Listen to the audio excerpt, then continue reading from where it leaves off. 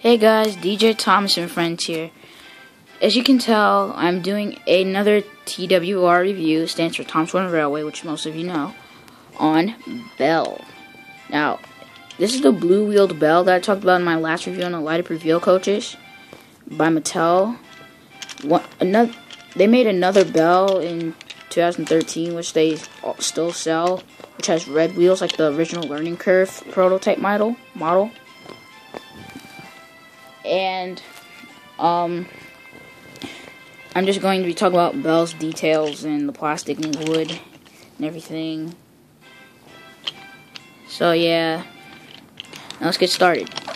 Now Belle's face is almost half accurate and half not accurate to what we see on television, but I still feel like it's a cool model.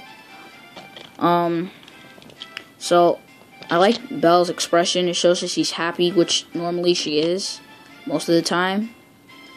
And her eyebrows, her her face is actually plastic. I was surprised that it um was. Surprised. And then the water tankers don't actually work. They're just there and it's also plastic, and the wheels plastic too.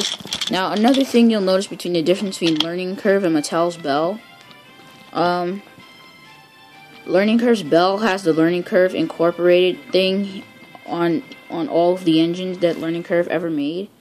Learning Curve has ever, ever made, but Mattel they just put the engine's name and the engine's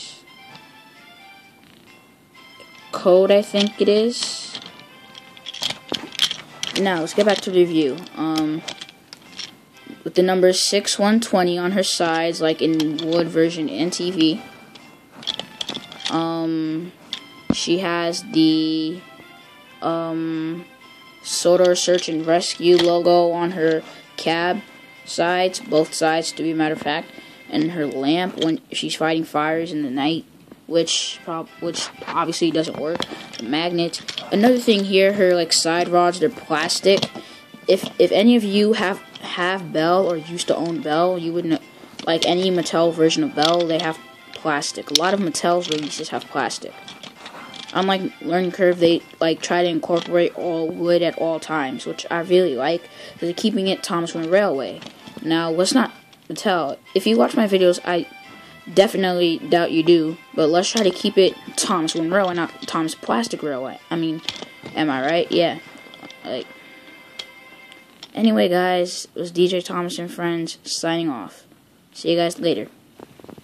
Don't forget to like, comment, and subscribe. Another review will be coming soon.